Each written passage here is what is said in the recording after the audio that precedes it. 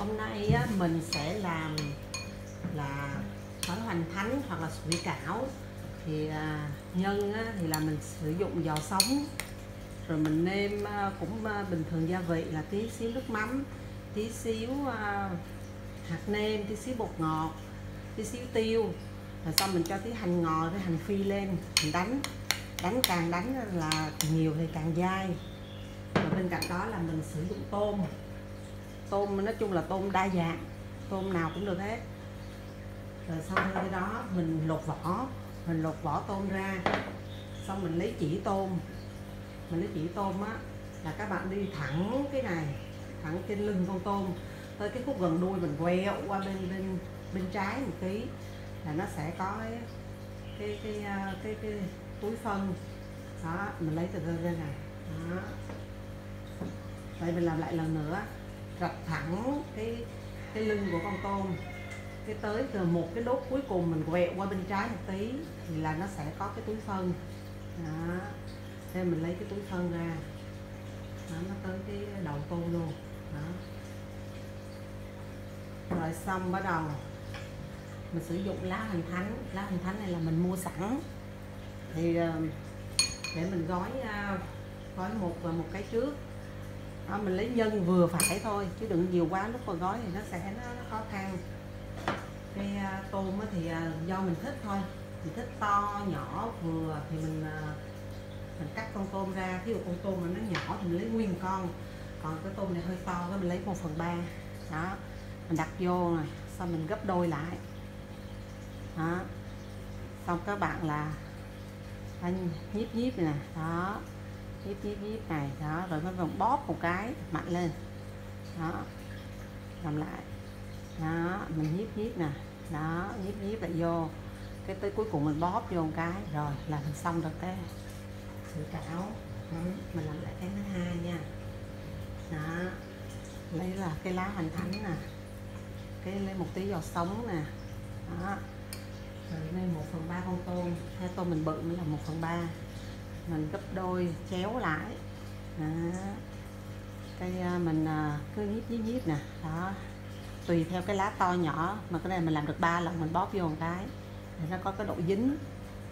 Nó chặt cái cái, cái, cái lá hành thánh với lại nhân. Một hai ba. Bóp một cái. Đó. Đó, cái thứ ba. Mình gấp đôi cái à, lại. Đó. cái mình gói nè một nè hai nè ba nè. Ví dụ như mà nếu mà cái độ dính nó bị kém quá thì mình chấm một miếng nước đó, vô. Đó, một nè hai nè ba nè bóp một cái. Ừ. rồi mình làm. Bây giờ mình làm một kiểu khác đó nha. Một kiểu khác đó là kêu là đồng đồng tiền à, đồng tiền vàng ha. Đó, gấp đôi lại. Đó.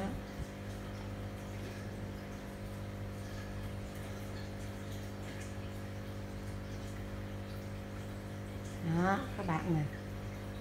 Đó. Đó. Đó. Cái khúc cuối nó không được dính đó mình cho tí nước vô. Bóp vô hình đồng hình hình tiền đồng tiền vàng. đó, mình làm lại nha. Đó, cho sống vừa phải thôi. Chứ nhiều quá cái à, nó nó nó nó tràn ra mình khó làm. Đó tôm nè. Đó mình gấp đôi lại. Cái đồng tiền vàng đó thì mình đó mình bóp bóp bóp nè. Đó cái xong mình làm sao hai cái đầu này nè nó nó đâu vào nhau nước nè. Nó hơi bị không được dính. Đó mình bóp vô. Ừ. thành đồng ờ, đồng tiền vàng thì mình cứ thế tiếp tục làm thôi. Ví dụ như à, mình à, làm á mà nó, nó từng cái từng cái mất công á bây giờ mình nó hả là xếp vào. Mình cho nhân rải à, nhân đều một lần. Đều một lần á, thì bắt đầu xong mình chỉ cuốn gói thôi. Đó, ví dụ như là mình là nhân nè đó. Cái cái làm người ta kêu là làm cái dây chuyền á thì mình cảm giác nó nhanh hơn chứ mình tập trung hơn. Đó khúc này thì mình chỉ là cha cha nhân vào nè đó. Cho nhân vào. Đó xong mình mình xếp mình xếp tôm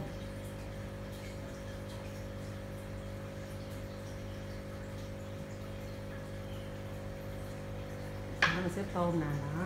Tôm một hai, ba,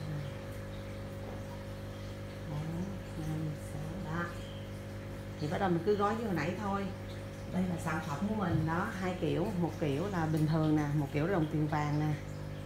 Đó. Rồi, chúc chúc các bạn thành công nha. Và xin chào.